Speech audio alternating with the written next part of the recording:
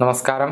Raf talks ഫുട്ബോളിലേക്ക് ഏവർക്കും സ്വാഗതം. മാഞ്ചസ്റ്റർ യുണൈറ്റഡിന്റെ ബ്രസീലിയൻ സൂപ്പർ താരമായ കാസമിറോക്ക് ഇത് നല്ല സമയമല്ല.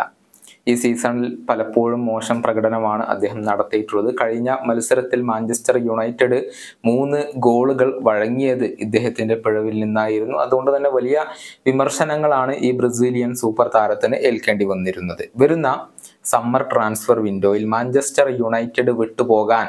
ഇപ്പോൾ കാസമിറോക്ക് പ്ലാനുകൾ ഉണ്ട്. അദ്ദേഹം സൗദി അറേബ്യയിലേക്ക് പോകും എന്നുള്ള റൂമറുകൾ സജീവമായി തുടങ്ങിയിട്ടുണ്ട്. നേരത്തെ ക്രിസ്ത്യാനോ റൊണാൾഡോയുടെ ക്ലബ്ബായ അൽനസറുമായി ബന്ധപ്പെടുത്തിക്കൊണ്ടുള്ള വാർത്തകൾ സജീവമായിരുന്നു. പക്ഷേ അൽനസർ ഇപ്പോൾ ഈ ഒരു താരത്തെ പരിഗണിക്കുന്നില്ല എന്നാണ് അറിയാൻ സാധിക്കുന്നത്. യുവതാരങ്ങളെ എത്തിക്കുന്നതിനാണ് അൽനസർ ഇപ്പോൾ മുൻഗണന നൽകുന്നത്. മറ്റേതെങ്കിലും സൗദി ക്ലബിലേക്ക് പോകാനായിരിക്കും കാസമുറ ശ്രമിക്കുക. ഏതായാലും വരുന്ന സമ്മറിൽ അദ്ദേഹം യുണൈറ്റഡ് വിടാനുള്ള സാധ്യതകൾ ഏറെയാണ്. താരത്തിന് പകരം മറ്റൊരു ഡിഫൻസീവ് മിഡ്ഫീൽഡറെ ഇപ്പോൾ മാഞ്ചസ്റ്റർ യുണൈറ്റഡ് കണ്ടെത്തി കഴിഞ്ഞിട്ടുണ്ട്. ബെൻഫിക്കയുടെ പോർച്ചുഗീസ് സൂപ്പർ താരമായ ജോവോ നെവസിനെ എത്തിക്കാനാണ് ഇപ്പോൾ മാഞ്ചസ്റ്റർ യുണൈറ്റഡ് തീരുമാനിച്ചിരിക്കുന്നത്. പോർച്ചുഗലിലെ പ്രമുഖ മാധ്യമമായ റെക്കോർഡാണ് ഇക്കാര്യം റിപ്പോർട്ട് ചെയ്തിട്ടുള്ളത്. താരത്തിന് വേണ്ടി വലിയ ഒരു തുക മാഞ്ചസ്റ്റർ യുണൈറ്റഡ് ചിലവഴിക്കേണ്ടി വന്നേക്കാം. ചുരുങ്ങിയത് നൂറ് മില്യൺ യൂറോയെങ്കിലും നൽകേണ്ടി വരുമെന്നാണ് റിപ്പോർട്ടുകൾ ചൂണ്ടിക്കാണിക്കുന്നത്.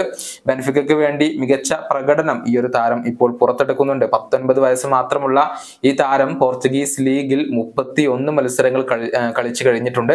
താരത്തെ സ്വന്തമാക്കാൻ കഴിഞ്ഞാൽ തീർച്ചയായും മാഞ്ചസ്റ്റർ യുണൈറ്റഡിനെ സംബന്ധിച്ചിടത്തോളം അതൊരു മുതൽക്കൂട്ട് തന്നെയായിരിക്കും.